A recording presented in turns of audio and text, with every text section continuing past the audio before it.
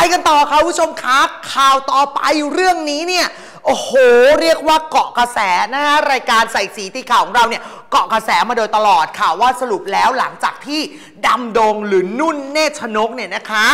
ออกจากคณะลิเกสอนรามน้ำเพชรแล้ว จะไปยังไงต่อนะคะล่าสุดต้องบอกคุณผู้ชมเลยว่าตอนนี้เนี่ยน้องนุ่นเนชนกเนี่ยเนื้อหอมมากๆ เพราะมีงานต่อเนื่องเกือบทุกวันเลยคุณผู้ชมหลังจากที่แสดงนะฮะโชว์บนเวทีนะฮะโตเกียวมิวสิกกับผู้ใหญ่บ้านฟินแลนด์ไปเป็นที่เรียบร้อยแล้ว ก็ได้รับกระแสการตอบรับดีมากๆนะฮะล่าสุดเนี่ยก็ต้องบอกคุณผู้ชมเลยว่า แฟนลิเกดีใจเตรียมเฮได้เลย เพราะน้องเนี่ยมีคิวโชว์อีกหลากหลายคิวเลยค่ะคุณผู้ชมขาเรียกว่าเป็นลิเกรับเชิญแล้วกันเพราะน้องเนี่ยคือสายเลือดนะของลูกลิเกเนี่ยคุณผู้ชม คือต้องบอกว่าน้องนุ่นเนชนกเติบโตมาจากคณะลิเก คุณพ่อเป็นลิเกเช่นกันนะคะก็เรียกว่าเป็นสายเลือดลิเก แล้วก็ใช้ชีวิตผูกพันอยู่กับโรงลิเกเนี่ยกว่า8ปีนะในคณะสอนรามน้ำเพชร เชื่อแน่ว่าถ้ากรีดเลือดออกมาเนี่ยนะ ก็ยังคงเป็นลิเกแล้วก็ลิเก ซึ่งนุ่นเนชนกบอกว่าไม่ทิ้งแน่นอนกับอาชีพลิเก หรือว่าวงการลิเก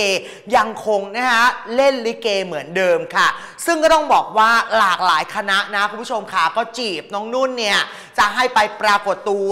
บนเวทีหรือว่าบนโรงลิเกเนี่ยแหละนะคะ ส่วนจะเป็นในบทของดำดงหรือไม่ดำดงเนี่ยก็ต้องติดตามแต่ละคณะเขาก็จะมี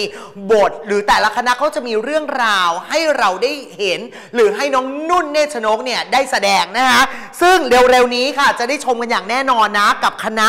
รุ่งฟ้ากิษดาบารมีค่ะ น้องนุ่นก็จะเป็นลิเกรับเชิญนะคะไปปรากฏตัวบนเวทีนี้ รวมไปถึงค่ะ ตอนนี้เรียกว่ากระแสแรงมากๆ น้องนีโน่นะฮะสุดที่รักเนี่ยแหละ หรือว่าคณะลิเก เทพพบุตรสุดที่รักเนี่ยนะคุณผู้ชมขาก็ตอนนี้เนี่ยกลายเป็นคู่ ที่คนจับจ้องจับตามองแล้ว จนกลายเป็นอาจจะเป็นคู่จิ้นไกลๆแล้ว ถ้าสมมุติว่าน้องนุ่นเนชนกเนี่ยไปปรากฏตัวอยู่บนเวทีลิเก เทพบุตรสุดที่รักเมื่อไหร่เนี่ย กระแสคู่จิ้น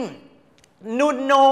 โนนุ่นเนี่ยจะมาแรงอย่างแน่นอนค่ะผู้ชมค่ะเพราะว่าคู่นี้เนี่ยก็เป็นอีกหนึ่งคู่นะ ที่คนเนี่ยบอกว่าเออมันดูเหมาะสมกันเหลือเกินนะคะล่าสุดน้องนีโน่ก็บอกว่า ก็ก็ไม่ติดอะไรนะ กับการที่น้องนุ่นเนี่ยมาร่วมงานในเอ่อเวทีลิเก เทพบุตรสุดที่รักเนี่ยนะคะคุณผู้ชมค่ะก็ต้องบอกว่า โอ้โห น้องนุ่นเนี่ยเขาเก่งกาจสามารถขนาดนั้นทุกคนเนี่ยอ้าแขนรับทุกคนอยากจะช่วยเหลือด้วยความที่เป็นลิเกด้วยกันอยู่แล้ว แต่ล่าสุดค่ะคุณผู้ชมขาน้องเนี่ยยังเป็นนางเอก MV อีกนะ นุ่นเนตรชนกเนี่ยเป็นนางเอก MV ให้กับคุณจินตหรา พูนลาภนะคุณผู้ชม เดี๋ยวจะถ่ายทำกันเร็วๆนี้รวมไปถึงงานพรีเซนเตอร์อีกหลากหลายงานเลย เรียกว่าดังแบบถล่มทลายกันเลยทีเดียว แต่ล่าสุดค่ะ แฟนคลับ หรือว่าคนที่รักนุ่นเนชนกฟังให้ดีนะ เพราะนุ่นเนชนกค่ะ เขาเรียกว่า จะกลับไปดูแล คุณพ่อซึ่งคุณพ่อเนี่ยเคยทำคณะลิเกไว้นะฮะนั่นก็คือคณะลิเกสอนรักเพชรวิเชียนนะฮะซึ่งครั้งนี้อาจจะเป็นการ กลับไปที่คณะสอนรักเพชรวิเชียนอีกครั้งหนึ่งแล้วก็เรียกว่าไปฟื้นฟู ไปทำคณะของคุณพ่อ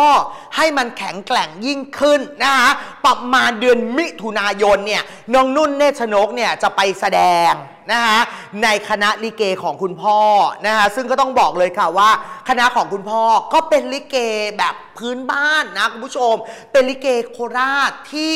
มีฐานแฟนคลับอยู่แล้ว แต่ถ้าน้องนุ่นเนี่ยนะคะกลับไป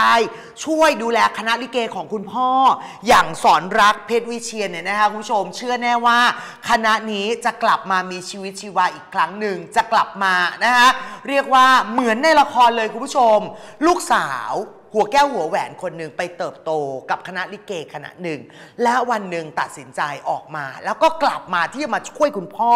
นี่แหละค่ะคุณผู้ชมคะรอติดตามผลงานของน้องนุ่นเนตรชนกได้เลย กับคณะลิเกสอนรักเพชรวิเชียนลูกสาวคนนี้ค่ะ จะกลับไปฟื้นฟู จะกลับไปดูแล และทำให้คณะลิเกของคุณพ่อ กระชุ่มกระชวยมีชีวิตชีวาอีกครั้งหนึ่งนะฮะ